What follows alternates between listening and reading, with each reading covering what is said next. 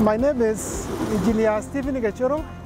I'm the resident engineer of Makupa Bridge. The component of this bridge is, uh, as you can see, there are two parallel bridges. Yes. Each side of the bridge has got four lanes, Yes. an NMT and a sidewalk. Yes.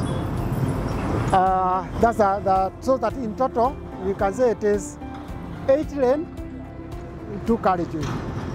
In terms of technology transfer, Yeah. I can say it was, uh, it was good Yes. because we have got locals who are working here. At the level of um uh, mid-level, Yes. mid-level, uh, let's say art- artisans, Yes. like uh, masons, uh, electricians, they all gain knowledge Yes.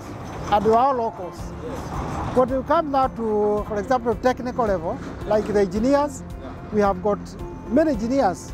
There are more than five More than who are attached here. Yes. And we have been, we have been with them all the way through, Yes. from the start of the bridge.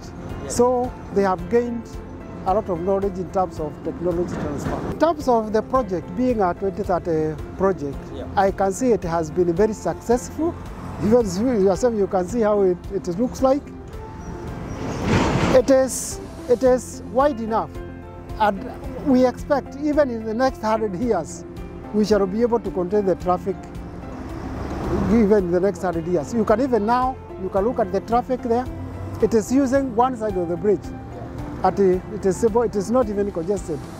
So you can see when you open both sides. So, and again, it is a dream come true.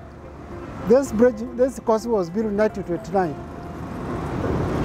And this is the time now we are doing it. So Mombasa now has become a complete uh, island since from that time.